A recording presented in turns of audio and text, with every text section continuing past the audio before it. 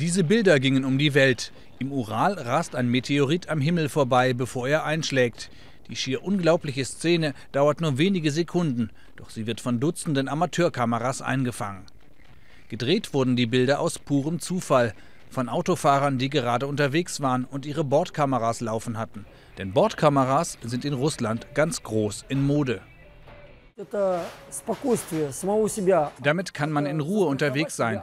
Sie schützen gegen Leute, die einem bei inszenierten Unfällen die Schuld zuschieben wollen. Das passiert bei uns oft.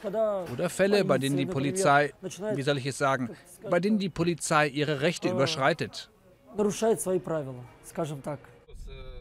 Streit ums Recht, das ist der Grund für den Erfolg der Bordkameras in Russland. Alexei Dosorow hat erlebt, wie wichtig ihre Bilder sein können. Vor einem Jahr hatte der Moskauer einen Unfall mit seinem Motorroller. Die Kamera an seinem Hals hielt alles fest. Eindeutig ist zu sehen, dass er bei Grün fährt. Ein Autofahrer kommt von links und nimmt ihm die Vorfahrt.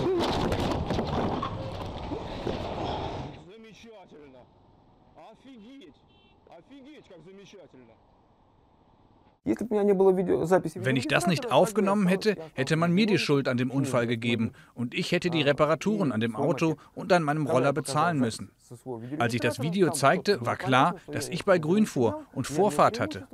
Also bekam der Autofahrer die Schuld zugesprochen und seine Versicherung zahlte die Reparaturen. 30 bis 200 Euro kosten solche mobilen Kameras. Eine Million wurden in Russland vergangenes Jahr verkauft. Das waren fünfmal mehr als noch ein Jahr zuvor.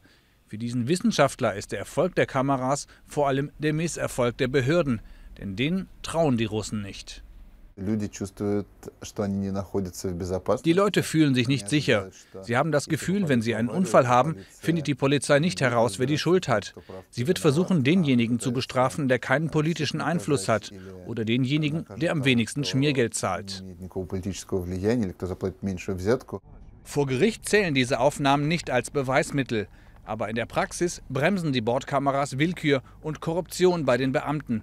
Denn die Spione der Straße haben schon zahlreiche Skandale gefilmt. Die Behörden wollen sie jetzt verbieten lassen.